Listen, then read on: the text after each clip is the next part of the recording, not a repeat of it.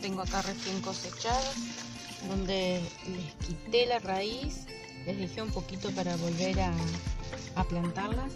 Y acá las tengo eh, secando un poco. Ahora le voy a sacar las raíces para poder hacer el preparado.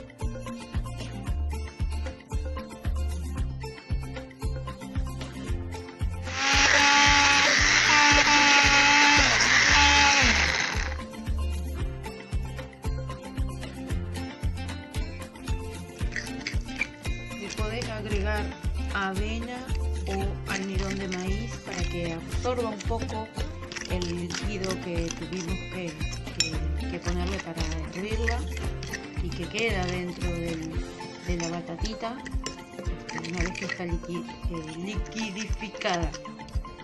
se le puede agregar un huevo o no, eh, condimentar y empezar a armar las, las tortitas como, como queremos. Otra opción también es ponerle polenta, harina de maíz, así ayudar a absorber el líquido y hacer una masa que se pueda este, moldear. Y cocinar hasta que estén bien tostaditas, así quedan este, un poquito crocantes.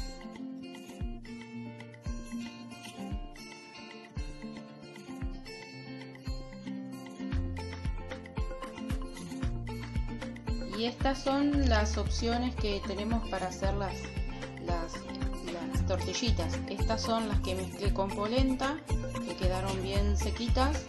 Las rellené con carne tipo arepas. Estas están rellenas de, queso. Después tipo sope con pollo mostaza y, y bueno rulitos de lechuga o el verde que quieran. Y estas son las tortillas que que están solo hechas con achira y almidón de maíz. Para rellenarlas o hacerlas eh, dobladas rellenas o bueno como lo que le quieras poner adentro